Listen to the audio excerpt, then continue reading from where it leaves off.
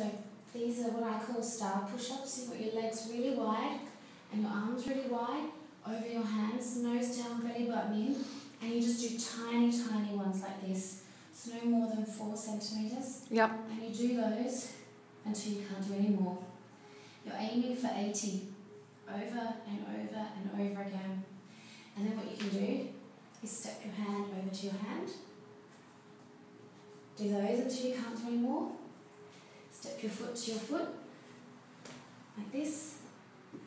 Or you can come into this position, step your knee over, like this. That will all just work these muscles here, get that shape. Yeah, there. I can see them. They're very beautiful.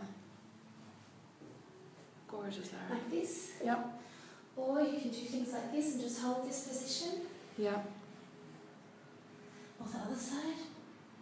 Like this. It's basically just holding positions and not doing big things like this. It's big things that get bulk. Right. Yeah. If I think of anything else, I'll send you some links. And make it uh, just just.